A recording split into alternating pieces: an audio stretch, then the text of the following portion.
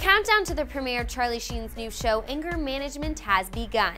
And the once winning actor is making the rounds to promote the FX series and apparently his new attitude. In an appearance on the Today Show, Sheen said he watched footage from the Torpedo of Truth tour and didn't recognize parts of the man he was seeing. His new show is his way of reintroducing himself and apologizing to America for his craziness last year.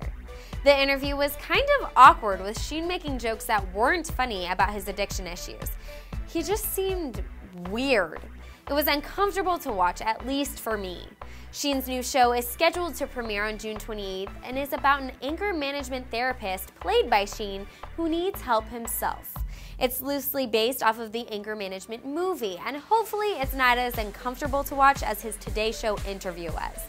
That's all for now. Keep checking back for more celebrity news throughout the day.